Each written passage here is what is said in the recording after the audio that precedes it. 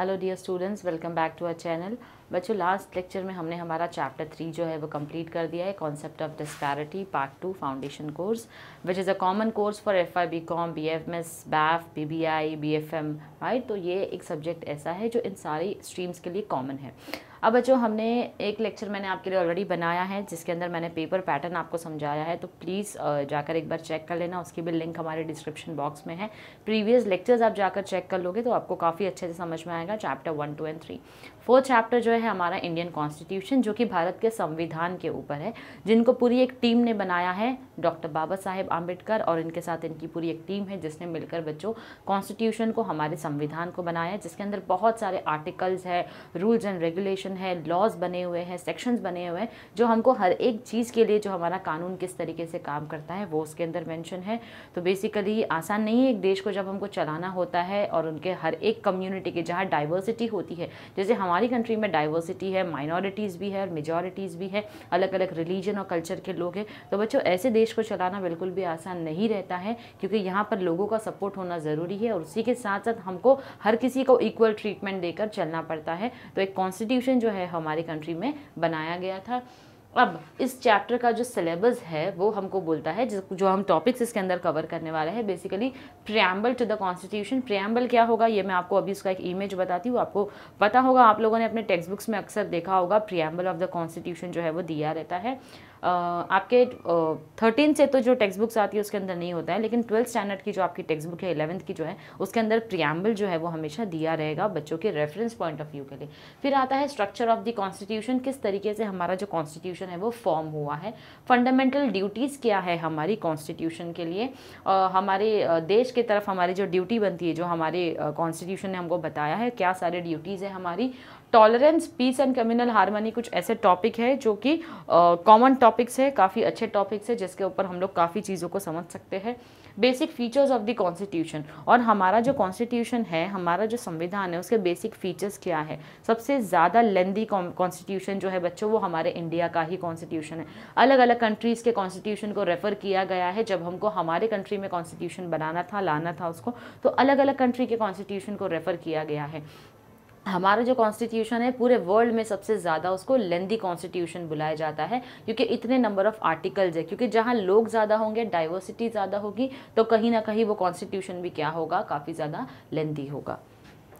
तो बच्चों, आओ हम लोग स्टार्ट करते हैं हमारे कॉन्स्टिट्यूशन से रिलेटेड सबसे पहले कॉन्स्टिट्यूशन ऑफ़ इंडिया में सबसे पहले बच्चों, अगर आपने इस इमेज को देखा होगा पहले भी तो प्रियम्बल जो है वो दिया होता है। इस तरीके से प्रियम्बल होता है, जहाँ पर हम लोग जैसे एक स्पीच देते हैं या एक प्लेज ले रहे होते हैं we the people of India बच्चों, याद रखना यहाँ पर आई नहीं आता, यहाँ पर वी होता है, क्योंकि इंडिया जो है उसकी जो यूनिटी है, वो वी पर बनती है आई पर कभी नहीं बनेगी। तो we the people of India having solemnly resolved to constitute India into a sovereign, socialist, secular, democratic republic and to secure to all its citizens justice, social, economic and political, liberty of thought, expression, belief, faith and worship, equality of status and of opportunity and to promote among them all.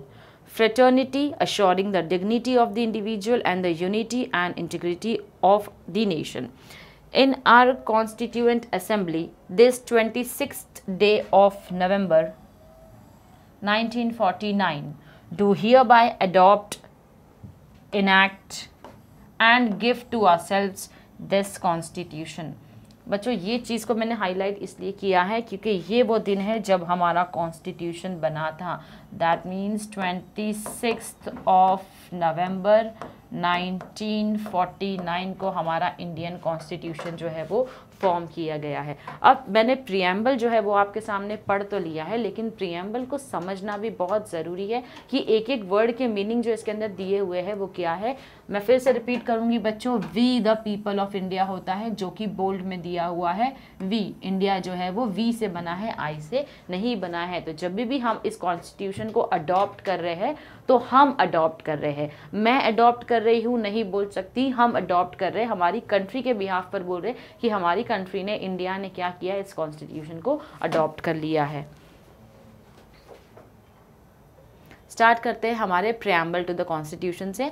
Preamble का मतलब क्या होता है? जो अभी अभी हमने देखा है, उसको एक इंट्रोडक्टरी नोट बोला जाता है। कॉन्स्टिट्यूशन का एक इंट्रोडक्शन जो होता है, जो दिया गया है इंट्रोडक्टरी नोट के थ्रू उसको हम बोलते हैं preamble now it reflects the minds of the framers of the constitution framers का मतलब जिन्होंने कॉन्स्टिट्यूशन बनाया है फ्रेम किया है तो वो होता है फ्रेमर्स तो इंट्रोडक्टरी नोट हमको क्या बताता है? किसके माइंड के बारे में बताता है? फ्रेमर्स के जिन्होंने कॉन्स्टिट्यूशन को फ्रेम किया है। देर थॉट्स एंड आइडियल्स उनकी सोच और उन्होंने क्या चीज़ों को सोच कर समझ कर हमारे कॉन्स्टिट्यूशन को बनाया है। It is regarded as the soul of the constitution तो प्रियम्बल जो है, उसको क्या बोला जाता है? कॉन्स्टिट्यूशन का सोल बोला जाता है।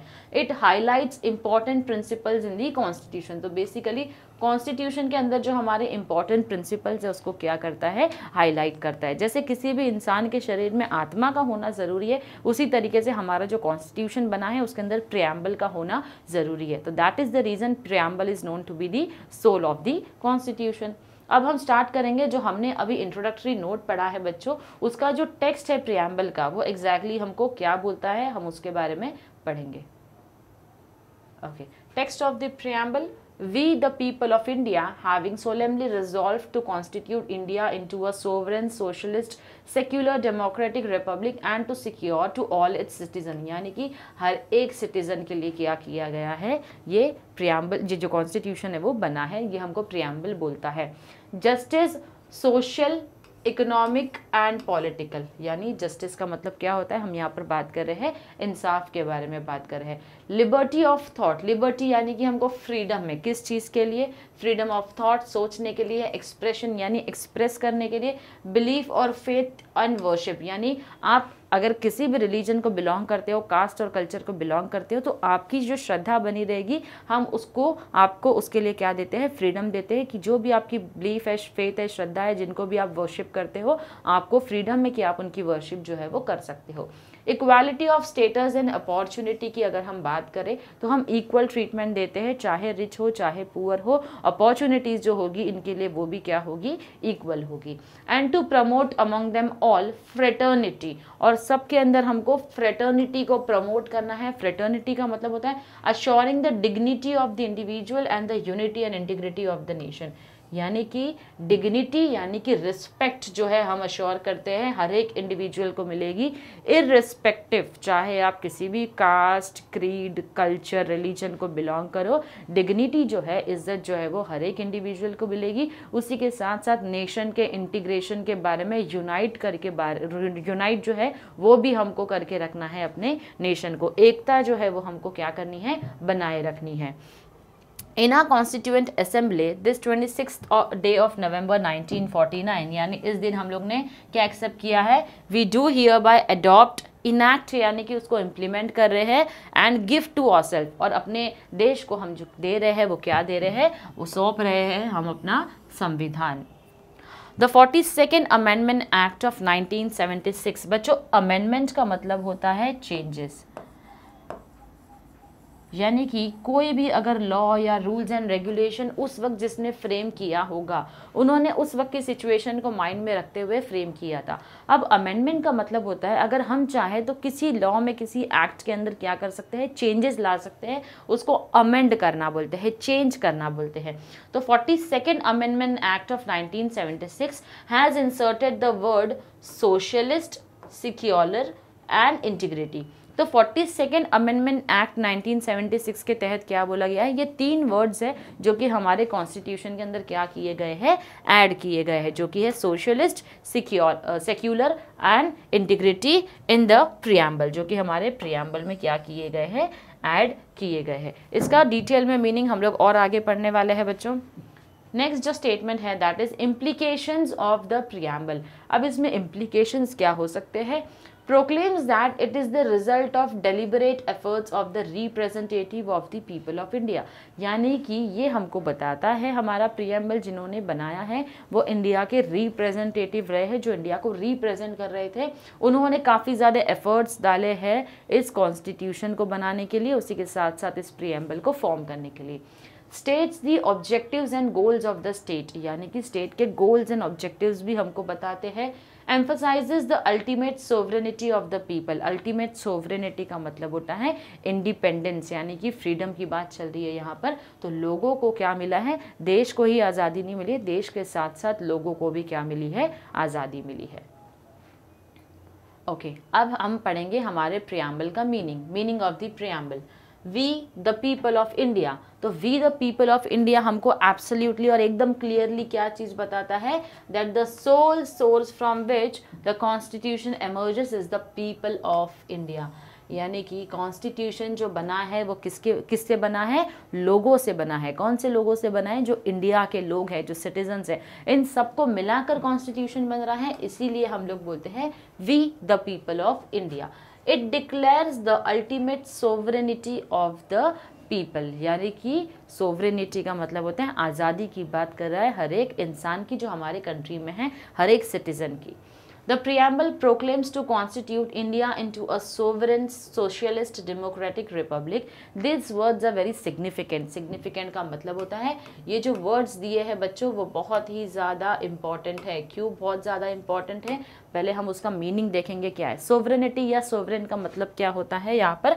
India acquired her independence on August fifteen 1947 यानी इस दिन क्या हुआ है? इंडिया को उसका इंडिपेंडेंट मिल इंडिपेंडेंस मिला है, आज़ादी मिली है। It is no more a dependency of the British empire it is free to take its own decision independence मिल जाना, उसका मतलब ये है कि ब्रिटिशर्स से हमको आज़ादी मिल गई है, आज़ादी मिल गई। तो अब हमारे जो भी डिसीज़न होंगे हमारी कंट्री के लिए, वो हम खुद लेंगे। अब हमको ब्रिटिशर्स पे डिपेंड होने की ज़रूरत नहीं है, क्योंकि उन्हीं से हमको क्या मिला है? इंडिपेंडेंस मिला है, आज़ादी मिली है। तो बेसिकली अब इंडिया अपने डिसीज़न जो है वो खुद लेने के काबिल है, इसलिए हम बोल रहे हैं उसको India is a sovereign state next जो बोल रहा है socialist this word was inserted in the preamble by the forty second amendment जैसे जैसे अभी हम लोग ने देखा है आगे forty seven second amendment act 1976 के तहत ये वर्ड को क्या किया गया है? प्रियम्बल में इंक्लूड किया गया है। It envisages the goal of a welfare state and establishment of a socialistic pattern of the society जिसका मतलब होता है equitable distribution of income and wealth यानी इक्वल डिस्ट्रीब्यूशन होगा इनकम और वेल्थ का सोसाइटी में सोसाइटी के लोगों के लिए।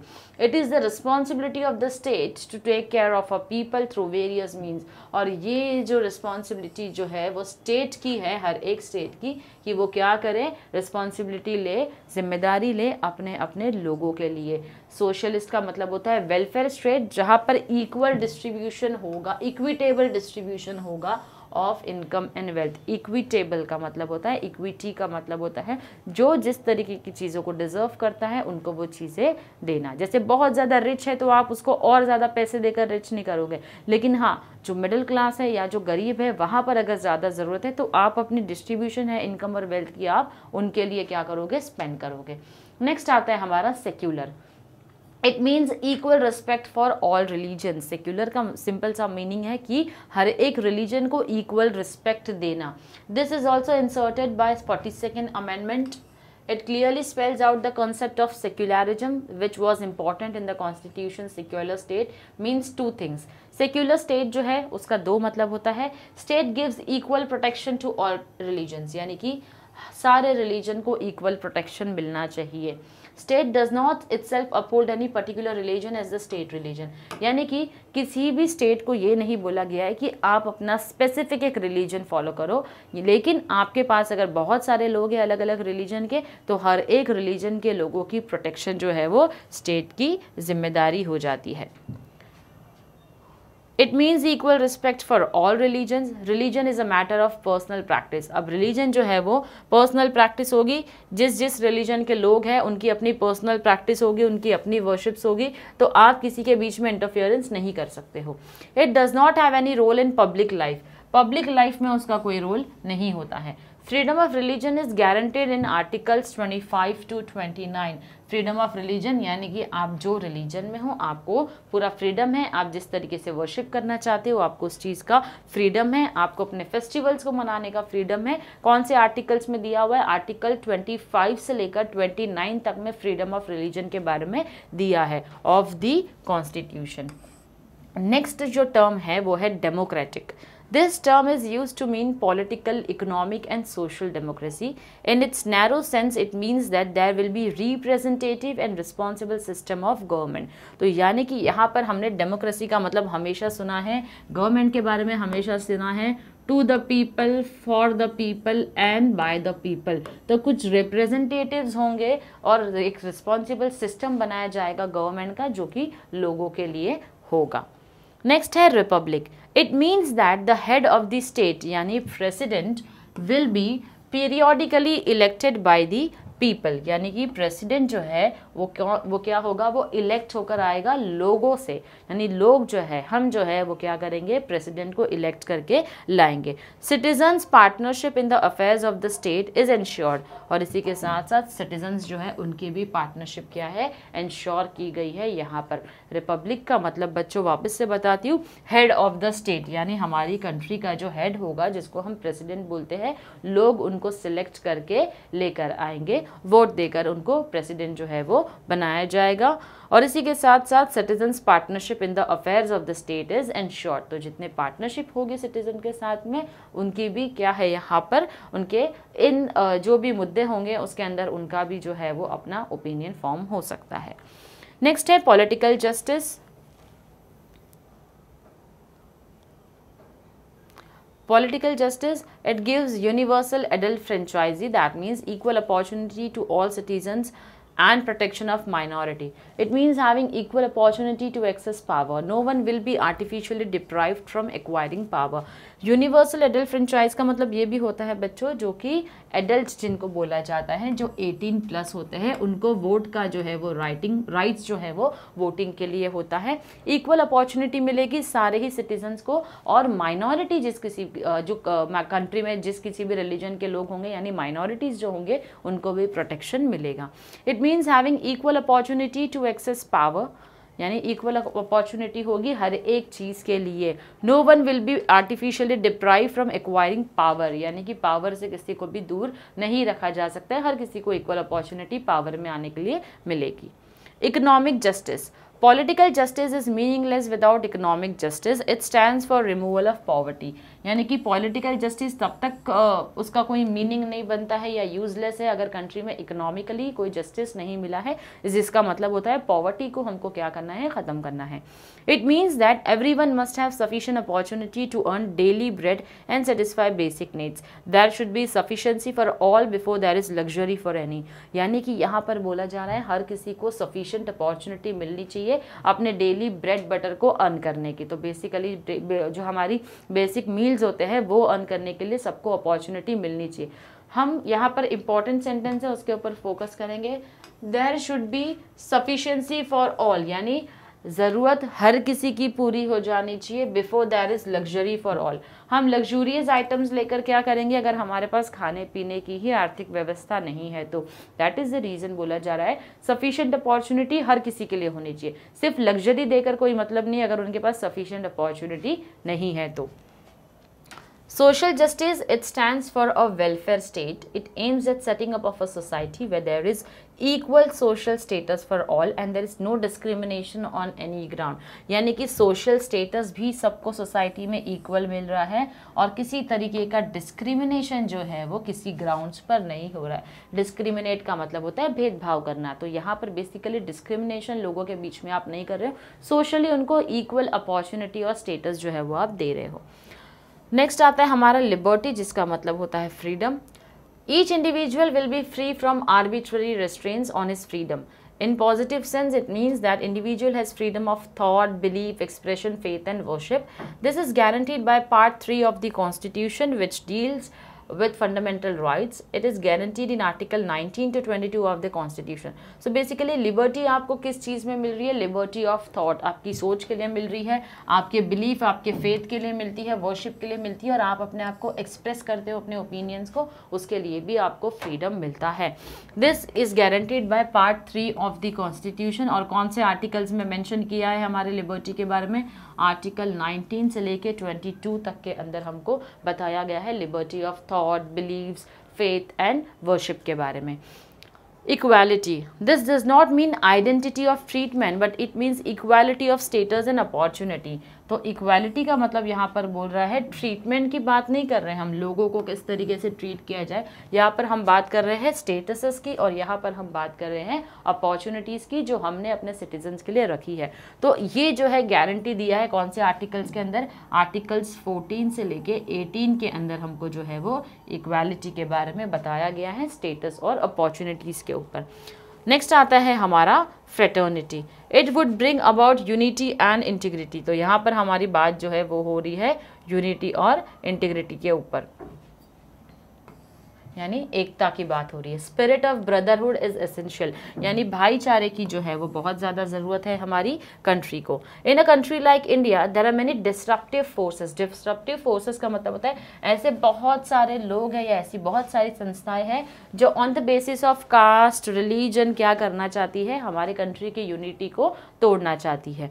In order to make democracy successful in such a society there is a special need for unity और ऐसे सोसाइटी में, ऐसे डेमोक्रेटिक कंट्री में हमको किस चीज़ की सबसे ज़्यादा ज़रूरत है? यूनिटी यानी एकता को बनाए रखने की ज़्यादा ज़रूरत है। Okay next is dignity of the individual it is essential for attaining democracy as a way of life तो बेसिकली डिग्निटी बच्चों, जैसे मैंने बताया था आपको, हर एक इंडिविजुअल जो है सोसाइटी में, उसको चाहिए कि वो रिकग्निशन रिकग्निशन मिले, उसको रिकग्नाइज हो, यानी उसको सराहा जाए, उसी के साथ उसकी जो है रिस्पेक्ट भी उसको मिले। तो that is basically all about dignity of the individual this is maintain only in democratic government ये जो चीज़ है वो सिर्फ़ और सिर्फ़ डेमोक्रेटिक गवर्नमेंट में ही हो सकती है, जहाँ पर आपको फ्रीडम मिलता है freedom of thoughts and expression belief and faith नहीं तो ऐसे भी गवर्नमेंट्स है जहाँ पर कम्युनिस्ट पार्टी अगर होती है तो वहाँ पर ह्यूमन बीइंग को सब ह्यूमन लेवल पर लेकर आया जाता है, यानी इंसानों को इंसानों की तरह भी ट्रीट नहीं किया जाता है।